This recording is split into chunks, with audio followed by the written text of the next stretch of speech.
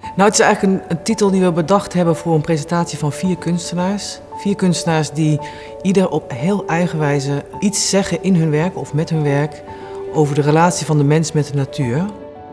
Well, I hope the things that you start to think about when you enter the show aren't the same ones that you think about when you leave. The forest is formed by the singular living, the smallest little things to the biggest. In de laatste zaal van de tentoonstelling krijg je een enorme uh, installatie te zien, de Settlement Indoor.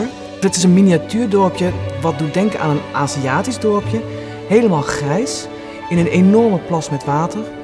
En die plas met water wordt omgeven door een zwarte muur en je gaat zelf als bezoeker zitten op een tribune.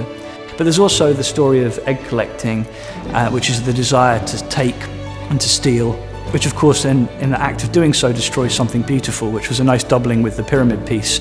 Uh, this idea of me wanting to take a piece home, but in the process of course uh, contributing to destroying the thing that had impressed me so much.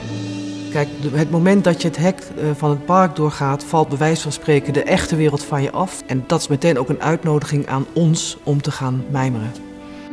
New things come close and others go to the distance. The forest is formed by the singular living.